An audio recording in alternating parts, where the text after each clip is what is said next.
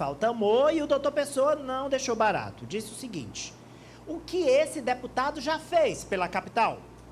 Começando é um com o doutor Vinícius ali. Vamos. Ontem à noite ele esteve no Parque Vitória, se reuniu lá com mais de 100 pessoas, cerca de 120 pessoas, e aí fez críticas à gestão do prefeito, o que também é um movimento novo, porque ele tinha um discurso mais contemporizador, não, diferentemente do presidente Franzé, que bate duro na prefeitura, Fábio Novo então nem se fala.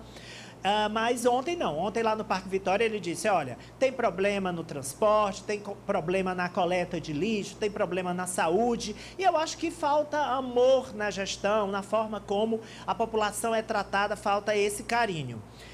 E aí o prefeito... Tem, tem uma cartela, hein? Temos a cartela com a fala dele, tem literalmente. Cartela da fala do deputado doutor Vinícius aí, Farol. Temos. Olha aí, ó. Falta transporte, falta coleta de lixo, falta remédio, falta amor. É por isso que não se resolve, é porque falta amor, disse o deputado. E aí o prefeito, nada amorosamente, o rebateu. Vamos ver o que o prefeito falou a Solange Souza. Inclusive, o, prefe... o prefeito, só um pouquinho, volta aqui, o prefeito se manifestou sobre a... o projeto do governador de criar, é, é, de abrir novas unidades hospitalares diminuindo o fluxo para o HUT. Aliás, é, o, o, prefeito elogiou o governador Rafael, mas esses elogios não, não foram extensivos ao deputado doutor Vinícius. Eu dou parabéns ao governador que reconheceu que vai mudar esse cenário, fazer quatro hospitais de porte médio e grande, parecido mais ou menos com a infraestrutura que tem o HUT. Quatro. E entre esses quatro vai ter hospital intermediário. Então, Teresina, o povo do Piauí agradece para não ficar nessa te, né, ambulância terapia. É, Teresina agradece, o povo daqui vai ter mais condições para a gente cuidar de, do povo Teresina. E teve um deputado aí, que eu não vou declinar o nome dele, mas chegou que disse que está querendo fazer uma administração paralela. Deputado, olhe, escute, veja o que o, que o seu chefe maior, o governador, falou. Você está desencontrado com a realidade, quer fazer politicagem em cima da saúde aqui no município de Teresina. Primeiro, faça o dever de casa, deputado.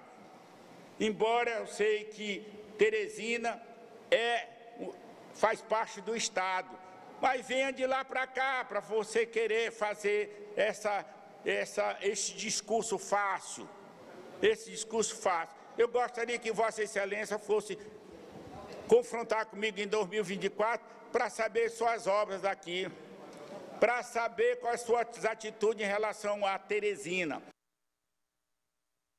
É duelo, Ari?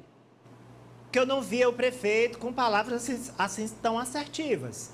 É, em não, é duelo? Doutor... Rapaz, eu não vi duelo não, Ari. Ah, viu nada. Duelão, sim. Ah, o que você fez por Teresina, você está com um discurso ao contrário ao do seu chefe, o governador Rafael Fonteles. Se informe melhor. Foi um duelo com todos os ingredientes. E agora, Ananias? Olha, tá aí se sendo, sendo formado um duelo que vai ser bom da gente acompanhar. Ari, como é que... Olha, eu nunca pensei ouvir isso do Ananias. Então... O Lorde querendo acompanhar duelos. É o, é o Lorde bélico. É um Lorde... O Lorde que é a guerra. É porque a pauta da saúde é uma pauta realmente interessante para a gente acompanhar, um dos principais problemas da cidade. O prefeito já tem se reclamado há muito tempo, sobretudo da questão financeira, do quanto a saúde de Teresina consome é, dos recursos da prefeitura, pedindo essa parceria com o governo do estado e o deputado doutor Vinícius é especialista na área de saúde, além de ser médico, foi o gestor do Hospital Infantil é, da capital. Então conhece de fato o setor. E esse tom de crítica, Amadeu, eu não tenho dúvida que vai aumentar por parte do doutor Vinícius. E aí a cada reação do prefeito doutor Pessoa vai ser bom, sim, da gente acompanhar. Agora, Esse é vai ser uma, vai ser uma, uma sequência de Eu duelo, acho que, o- né? que É, aí a- tá. Desculpa. né? não pode, pode falar. Não, assim. não. Depois Então, eu falo. Então, já temos um duelo marcado para o processo eleitoral, caso o doutor Vinícius seja confirmado e o prefeito também como candidato à reeleição. E aí, Amadeu, o principal ponto é mostrar de fato o que cada um fez, o que o prefeito fez como gestor, e aí na condição é, de gestor, de líder é, da capital, e doutor Vinícius com o trabalho que já foi do Hospital Infantil e também agora como deputado. Olha, no Sim, quesito duelo, o doutor Vinícius está liderando o franzano dos parques de Olha aí, computação. tá vendo? é duelo, né, Cíntia? Pois não, Cíntia. Não, eu ia, eu ia comentar que ah, já foi, foi cada vez que um desses pré-candidatos aumenta um pouco o tom, sobe um pouco o tom em relação à prefeitura, vem de lá a crítica do prefeito. No dia que o PT perceber o quanto que isso é benéfico para o Partido dos Trabalhadores, O volume de críticas vai aumentar. não é? é?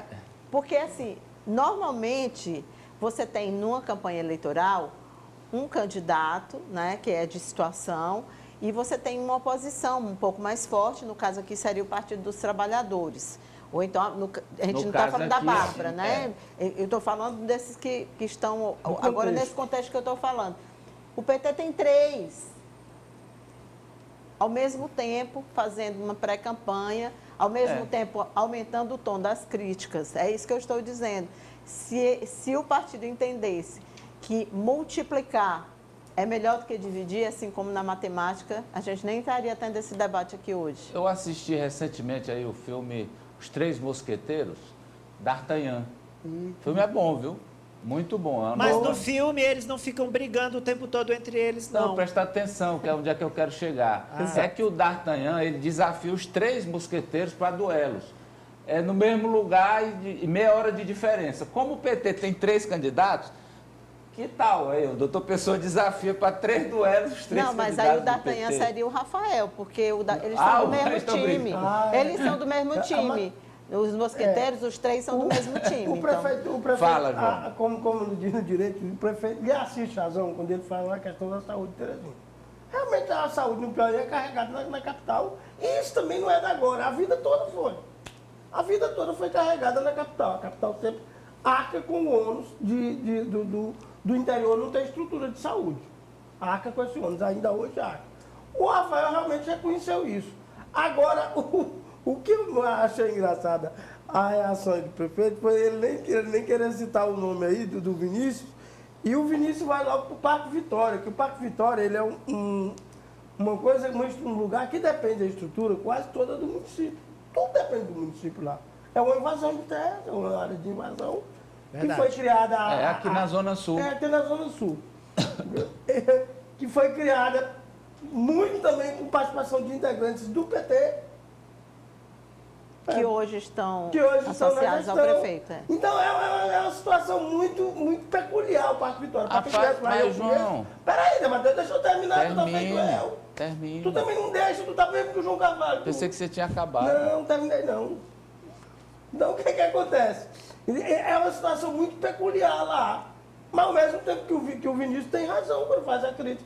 Mas ao mesmo tempo, aquela situação criada lá é uma situação social estabelecida. Como é uma situação social já quase que aceita, que não era para ser aceita, de que Teresina banca a saúde do Piauí. Isso é verdade sempre bancou. Eu já me lembro do próprio Silvio Mendes, na, na- há três eleições atrás, falando disso. Se Firmino, Firmino. toda eleição falava. E fala e não resolve, porque não, se não houver um compromisso, como o governador está mostrando agora, isso aí o governador está tá, tá com razão, se não houver um reconhecimento e um compromisso, não vai adiantar nada, né? Eu acho que já foi pior.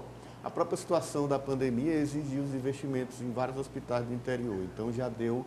Não, um que melhorou, avanço- melhorou. um mas não, não é ainda, está longe do ideal, mas vamos, É. vamos, vemos e Mas, mas assim, já deu uma você, melhorada boa. quando você fala que, que a saúde é concentrada em Teresina, até pelo número de médicos, 70% de todos os médicos com CRM no Piauí estão na capital. Você tem que ver que a prefeitura não arca sozinho com essa conta, não, tá? Você tem hoje um Não, você não tem que ver que o HUT é a porta de entrada, também tem de tem- acidentes de tem trânsito, basicamente. Aí você tem Que é onde vai o que, gasto, que né? acontecem na capital, principalmente, os acidentes de trânsito. Então, aí já, já foi por terra o seu, o seu argumento.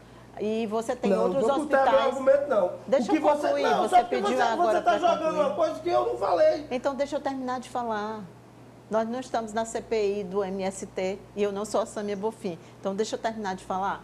Então, como eu dizia, existem outras estruturas. Tem, por exemplo, o Hospital Universitário, que hoje recebe um número também importante de pessoas. Você tem uma outra estrutura eh, que, que é o direcionamento dos pacientes, que não são aqueles pacientes de urgência e emergência para o HGV. Então, eu acho importante que se mostre que existe hoje um equilíbrio, embora ainda exista Está uma longe do grande equilíbrio, concentração. Cintia, me desculpe, está longe do equilíbrio. Só quem não conhece o, o volume do hospital HU, Bom, quando você que é de terminar a excelência, frase, eu termino. O, o, o excelência. Quem não conhece o volume do HU e o volume do Getúlio Vargas, que compara com o HUT, aí está longe do equilíbrio.